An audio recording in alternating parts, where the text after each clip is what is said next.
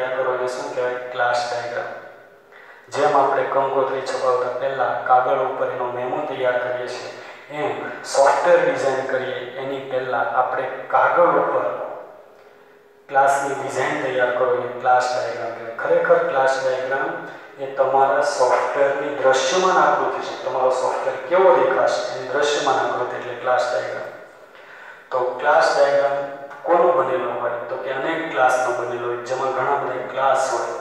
એટલે કે ક્લાસનો સમૂહ, અવરોધો અને જુદા જુદા ક્લાસ વચ્ચેના સંબંધની સ્થિતિ રજૂ કરે છે. ક્લાસ ડાયાગ્રામમાં શું હોય? તો કે ક્લાસનો સમૂહ હોય અને ક્લાસના અવરોધો હોય. એટલે કે કન્સ્ટ્રેન્ટ્સ કહેવાય આપણે કે જે દરેક ક્લાસ હમણાં શીખીશું અને જુદા જુદા ક્લાસ વચ્ચેનો સંબંધ. આ ક્લાસનો સંબંધ, આ ક્લાસ સાથે સંપૂર્ણ છે કે અંશત છે કે એ બધું આપણે અંદર અભ્યાસ કરીશું. પણ ક્લાસ ડાયાગ્રામ કોનાથી બનેલો હોય છે? અને ક્લાસના સમૂહો, અવરોધો અને ક્લાસ જુદા જુદા ક્લાસ વચ્ચેના સંબંધની સ્થિતિ રજૂ કરે છે. તો હવે નેક્સ્ટ આપણે જોઈએ યુએમએલ. યુએમએલનું પૂરું નામ થાય unified modeling language. Class diagram બનાવવા માટે જે ભાષા વપરાય ક્લાસ ડાયાગ્રામની ડિઝાઇન તૈયાર કરવા પેજમાં ડિઝાઇન કરવાની છે કોમ્પ્યુટરમાં નથી કરવાની તો ક્લાસ ડાયાગ્રામની ડિઝાઇન તૈયાર કરવા માટે જે ભાષાનો ઉપયોગ થાય છે, તે ભાષાને આપણે કયા નામથી ઓળખીશું? U M L.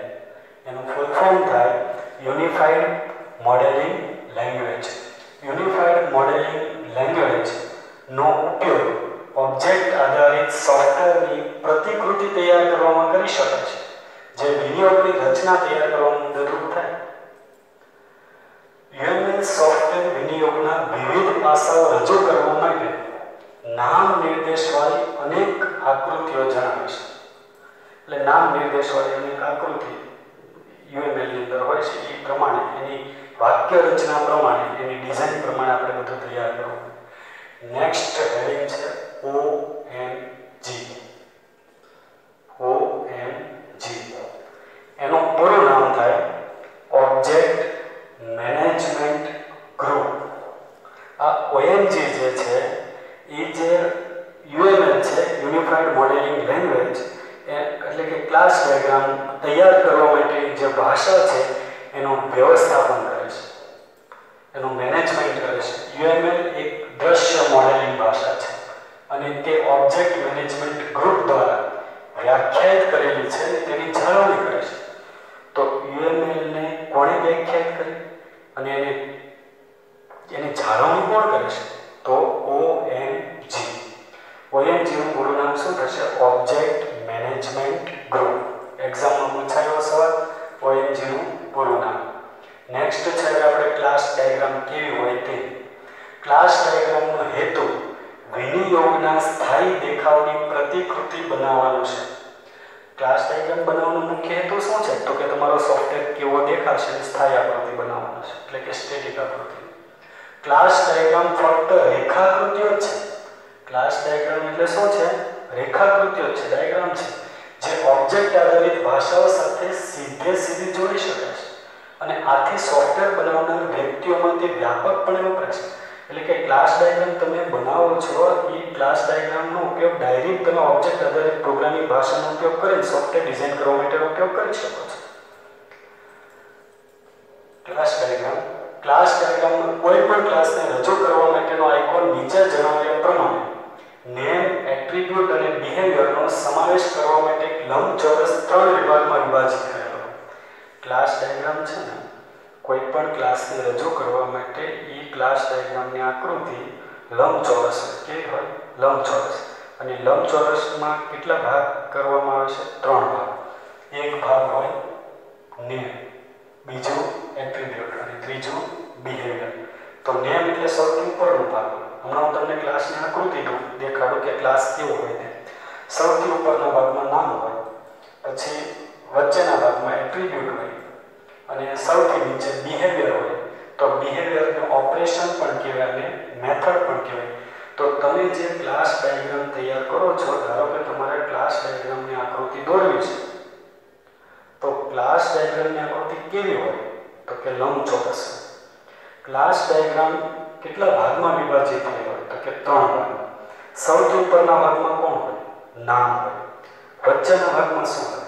એટ્રીબ્યુટ અને સૌથી નીચે શું હોય?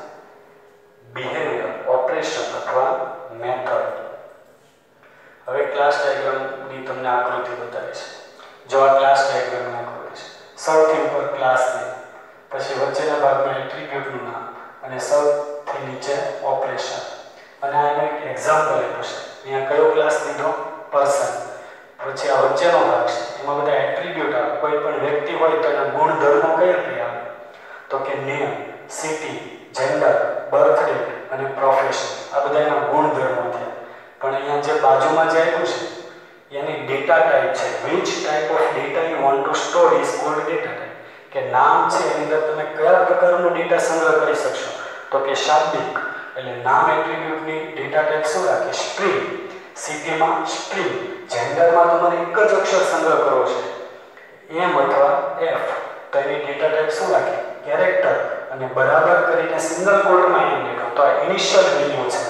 આ ડેટા ટાઈપ છે ને બાજુમાં શું આપ્યું છે? ઇનિશિયલ વેલ્યુ પછી અહીંયા બર્થ ડેટ એની આગળ ડેશ લખ્યું છે. તો એ વિઝિબિલિટી છે. હમણાં આપણે એનો અભ્યાસ કરીશું. વિઝિબિલિટીનો અર્થ થાય દ્રશ્યતા. હવે એક વસ્તુ તમને કહી દઉં કે ક્લાસ ડાયાગ્રામની આકૃતિ છે કેવી હોય? લંબચોરસ. કે ક્લાસ ડાયાગ્રામની આકૃતિ કેટલા ભાગમાં વહેંચાયેલી હોય? ત્રણ ભાગ. સૌથી ઉપરના ભાગમાં શું હોય? ક્લાસનું નામ. વચ્ચેના ભાગમાં શું હોય? એટ્રીબ્યુટનું નામ. હવે એટ્રીબ્યુટના નામ છે, એમાં એટ્રીબ્યુટના નામ ફરજિયાત છે. કમ્પલસરી તમારે એટ્રીબ્યુટના નામ લખવા પડે. પછી તમે વિઝિબિલિટી ન લખો તો એ ચાલે. ડેટા ટાઈપ ન લખો તો પણ ચાલે. ઇનિશિયલ વેલ્યુ ન પણ લખો તો ચાલે. પણ સૌથી અગત્યની વસ્તુ તમારે શું લખવી પડે? ફરજિયાત શું છે? તો કે એટ્રીબ્યુટના નામ. અને સૌથી નીચેના ભાગમાં આવશે ઓપરેશન અથવા બિહેવિયર અથવા મેથડ. અહીંયા એક મેથડ લીધી સેટ બર્થ ડેટ, બીજી મેથડ લીધી આપણે ચેન્જ સિટી, ત્રીજી મેથડ લીધી ડિસ્પ્લે. તો આ બધી મેથડ છે. ટૂંકમાં આના વિશે જ્યારે આપણે ડિઝાઇન કરીશું, પ્રોગ્રામ કમ્પ્લીટ તૈયાર કરીશું, ત્યારે વધારે તમને કોન્સેપ્ટ ક્લિયર થશે. પણ અત્યારે તમને એટલી સમજ પડવી જોઈએ કે ક્લાસ ડાયાગ્રામ જે છે શું છે? તો કે તમે કોઈ પણ સોફ્ટવેર ડિઝાઇન કરો તો એની દ્રશ્યમાન આકૃતિ છે. સોફ્ટવેરની દ્રશ્યમાન આકૃતિ એટલે શું કહેવાય? ક્લાસ ડાયાગ્રામ ક્લાસ ડાયાગ્રામ તૈયાર કરવા માટે કઈ ભાષા વપરાય F unified modeling language class diagram તૈયાર કરવા માટેની જે યુએમએલ છે, એની રચના કોણે કરી છે? અને એનું વ્યવસ્થાપન કોણ કરે છે? OMG object management group class ડાયાગ્રામની આકૃતિ કેટલા ભાગમાં વહેંચાય ત્રણ ભાગ. સૌથી ઉપરના ભાગમાં શું હોય? ક્લાસનું નામ. વચ્ચેના ભાગમાં શું હોય? એટ્રીબ્યુટના નામ. અને સૌથી નીચે શું હોય? ઓપરેશન બિહેવિયર કે મેથડ અને ક્લાસ ડાયાગ્રામની આકૃતિ કેવા આકારની હોય છે? લંબચોરસ હોય. નેક્સ્ટ આપણે જોઈએ. ક્લાસ ડાયાગ્રામ માટે યુએમએલની સંકેત લિપિમાં એટ્રીબ્યુટની વાક્ય રચના નીચે પ્રમાણે લખી શકાય. જો તમારે એટ્રીબ્યુટની વાક્ય રચના એટલે ક્લાસ ડાયાગ્રામમાં સૌથી ઉપર નામ હોય, વચ્ચેના ભાગમાં એટ્રીબ્યુટ હોય એટલે વચ્ચેનો ભાગ જે છે, એ તમે આ વાક્ય રચના પ્રમાણે લખવાનો હોય. આ એટ્રીબ્યુટની વાક્ય રચના છે. ક્લાસ ડાયાગ્રામની અંદર આ એટ્રીબ્યુટની વાક્ય રચના બહુ અગત્યની છે. એમાં સમજો, આ એટ્રીબ્યુટની વાક્ય રચના સમજી લો, આમાંથી ઘણા બધા પ્રશ્નો પૂછાય છે. જો કે આઠ માર્કનું ચેપ્ટર છે, એટલે આઠથી વધારે ન પૂછાય. પણ મોસ્ટ ઓફ પ્રશ્નો આમાંથી હોય છે. તો થોડુંક સમજવાનો પ્રયત્ન કરો.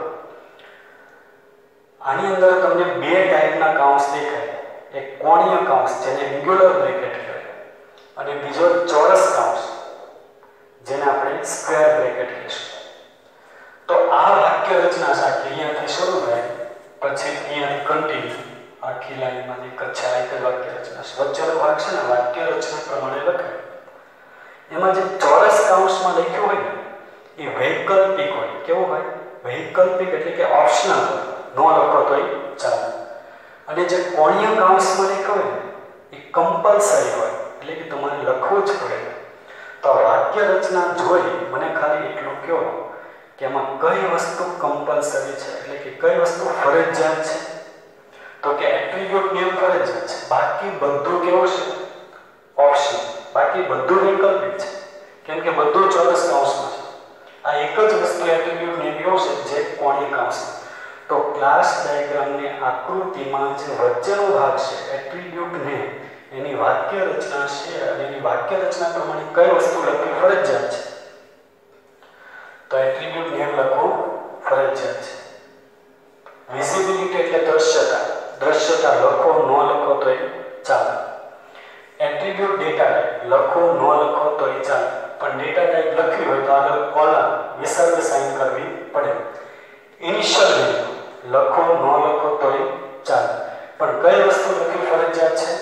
એટ્રીબ્યુટ નેમ અહીં ચોરસ કાઉન્સની જોડીમાં લખવામાં આવેલ બાબત વૈકલ્પિક છે અને કોણીય કાઉન્સની જોડીમાં લખેલી બાબતની કિંમત વપરાશકર્તાએ જણાવવી પડે.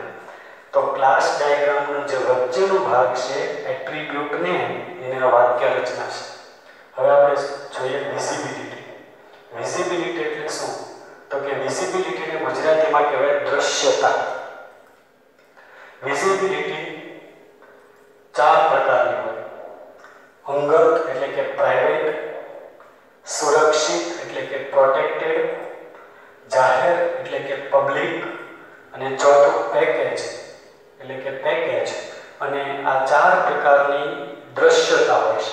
હવે આ દ્રશ્યતાનો અર્થ શું થાય એ તમને ધારો કે તમે ઓબ્જેક્ટ આધારિત પ્રોગ્રામિંગ ભાષાનો ઉપયોગ કરીને સોફ્ટવેર બનાવશો તો તમે ઘણા બધા ક્લાસ બનાવશો ધારો કે આ એ ક્લાસ છે, આ બી ક્લાસ છે, આ સી ક્લાસ તમારી ઈચ્છા હોય કે એ ક્લાસના અમુક એટ્રીબ્યુટ બી ક્લાસની અંદર દ્રશ્યમાન ન રહેવા જોઈએ તો એને કેવી વિઝિબિલિટી આપી દેવાની અંગત તમને એમ થાય કે એ ક્લાસના એટ્રીબ્યુટ બધા ક્લાસની અંદર દ્રશ્યમાન રહેવા જોઈએ તો કઈ વિઝિબિલિટી આપી દેવાની પબ્લિક એટલે વિઝિબિલિટીનો અર્થ થાય દ્રશ્યતા જો કે વિઝિબિલિટી એના વિશે ડિટેલમાં આપણે ચેપ્ટર આઠમાં શીખવાનું છે આઠમા ચેપ્ટરમાં તમને દ્રશ્યતા વિશે ડિટેલમાં ખબર પડશે.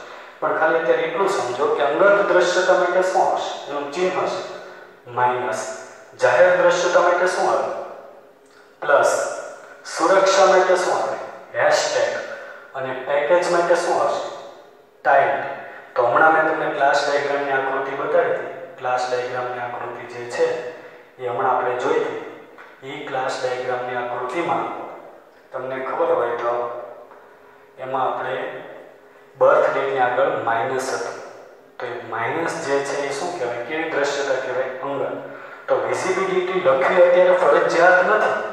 પણ જો તમારે લખવી હોય વિઝિબિલિટી લખવી હોય, તો લખી શકો.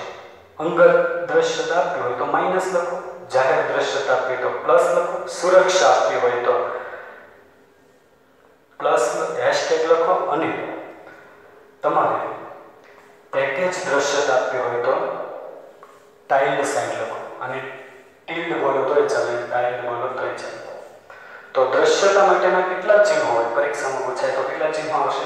ચાર. નેક્સ્ટ આપણે અભ્યાસ કરીએ. ક્લાસ ડાયાગ્રામની અંદર એટ્રીબ્યુટ સામાન્ય રીતે ચલ કહેવાય. ચલ એટલે વેરિયેબલ તમે જેટલા અહીંયા ક્લાસની અંદર જે એટ્રીબ્યુટ લેશો, તમે જ્યારે પ્રોગ્રામનો ઉપયોગ કરી, તમે લેંગ્વેજનું લેંગ્વેજમાં જ્યારે ઇમ્પ્લિમેન્ટ કરશો સોફ્ટવેર ડિઝાઇન કરશો, ત્યારે જેટલા જેટલા એટ્રીબ્યુટ તમે લીધા હશે, બધા એટ્રીબ્યુટને તમે ચલ તરીકે ડિક્લેર કરશો. ડેટા ટાઈપ અને તેની પ્રારંભિક કિંમત પ્રોગ્રામની શરૂઆતમાં કયા પ્રકારનો ડેટા સંગ્રહ કર્યો છે અને તેની કિંમત શું છે, તેનો નિર્દેશ કરે છે. એટલે ડેટા ટાઈપ તો આપણને આમ જનરલી ખબર જ કે કયા પ્રકારનો ડેટા તમારે સંગ્રહ કરવો જેમ કે નિયમ હોય તો એની અંદર હંમેશા શાબ્દિક ડેટા જ સંગ્રહ થાય એટલે એની ડેટા સ્ટ્રિંગ રાખવી પડે. શબ્દોના સમૂહને અક્ષરોના સમૂહને સ્ટ્રીંગ કહેવાય. અને જ્યારે તમારે રોલ નંબર એવો કોઈ ચલ એવો હોય અને એની ડેટા ટાઈપ નક્કી કરશો, તેમાં તમે નંબર ડેટા ટાઈપ આપી શકશો. અહીં જોઈ શકાય છે કે માત્ર એટ્રીબ્યુટ નેમ જ ફરજિયાત છે. અને અન્ય તમામ બાબત કેવી છે? વૈકલ્પિક છે. એટ્રીબ્યુટ ઘોષિત કરવા માટે નીચેના કેટલાક ઉદાહરણ છે.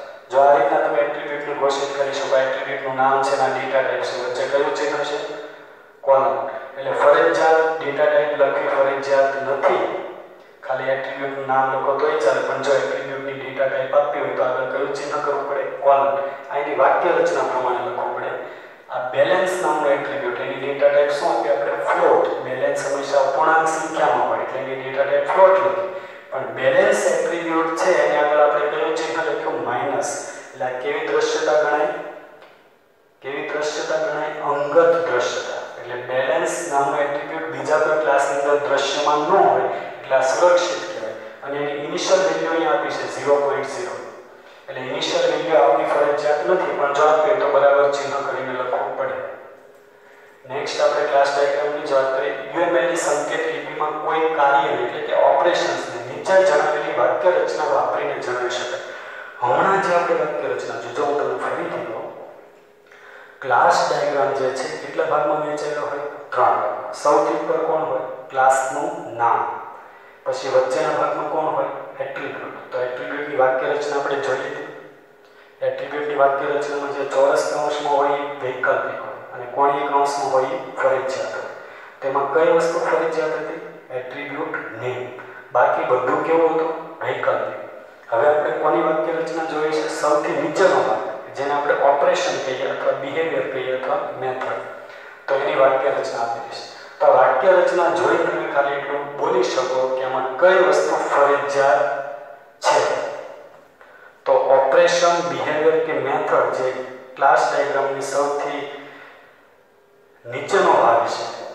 જેને આપણે ઓપરેશન કહીએ અથવા બિહેવિયર કહીએ અથવા મેથડ એની વાક્ય રચના છે એની વાક્ય રચના પ્રમાણે તમે જુઓ તો સૌથી અગત્યની વસ્તુ એટલે કે ફરજિયાત આપતા જે વસ્તુ કહે છે તો કે વિઝિબિલિટી સિવાય, એટલે કે આમાં દ્રશ્યતા જે છે ને, એ વૈકલ્પિક છે. બાકી બધું કેવું છે? ફરજિયાત. તમારે મેથડનું નામ લખવું પડે, અંદર પેરામીટરનું લિસ્ટ આપવું પડે. પેરામીટરનું લિસ્ટ આપો તો એની અંદર એક કરતાં વધારે પેરામીટર હોય તો કોમન કરીને પેરામીટર પડે અને પાછું છેલ્લે રિટર્ન ડેટા ટાઈપ પણ આપવી પડે કોલમ કરીને. વિનિયોગના અમલ દરમિયાન ઓબ્જેક્ટ તેના સ્ટેટ વડે રજૂ કરવામાં આવે છે. આ રીતે ઓબ્જેક્ટ ચલી પડે આ બહુ અગત્યનું વાક્ય છે. ઓબ્જેક્ટ કેવા હોય? તો કે ઓબ્જેક્ટ ડાયનેમિક હોય. કેવા હોય છે ડાયનેમિક હોય હવે અહીંયા એક એક્ઝામ્પલ આપ્યું છે કયો ક્લાસ છે પર્સન અહીંયા પણ કયો ક્લાસ છે પર્સન ક્લાસ એક જ છે પર્સન પણ ઓબ્જેક્ટ કેટલા છે બી અહીંયા કયો ઓબ્જેક્ટ છે પી વન અહીંયા કયો ઓબ્જેક્ટ છે પી ટુ તો પી વન કોનો ઓબ્જેક્ટ છે પર્સન પી ટુ કોનો ઓબ્જેક્ટ છે પર્સન એટલે એક્ઝામમાં એક બહુ અગત્યનો એવો સવાલ પૂછાય કે પર્સન ક્લાસનું પી વન ઓબ્જેક્ટ એનો નિર્દેશ કઈ રીતના કરશો? પી વન કોલન કરીને પર્સન કે પર્સન કોલન કરીને પી વન કે પી વન ડેશ પર્સન કે પર્સન ડેશ પી વન આવો ઓપ્શન આવે. તો એમાં પી વન કોલન કરીને પર્સન આનો અર્થ એવો થાય? પી વન કોનો ઓબ્જેક્ટ છે? પર્સન ક્લાસ તો આ ક્લાસ ડાયાગ્રામ જ છે. સૌથી ઉપર શું હોય? ક્લાસનું નામ. વચ્ચેના ભાગમાં શું હોય? એટ્રીબ્યુટનું લિસ્ટ અને સૌથી નીચે હોય ઓપરેશન બિહેવિયર અથવા method to be continue next lecture તો આ લેક્ચરની અંદર આપણે જે ચેપ્ટર સિક્સ ઓબ્જેક્ટ આધારિત ખ્યાલ, એનો આપણે થોડોક અભ્યાસ કર્યો. ચેપ્ટર બહુ અગત્યનું છે. બધા શબ્દો શીખવા જેવા શબ્દો છે, યાદ રાખવા જેવા શબ્દો છે. શબ્દ ન સમજ પડે તો એકવાર ટેક્સ્ટ બુકમાં પણ જોઈ શકો અને ગમે ત્યારે આપણને ડાયરેક્ટ કોન્ટેક્ટ પણ કરી શકશો. જય સ્વામી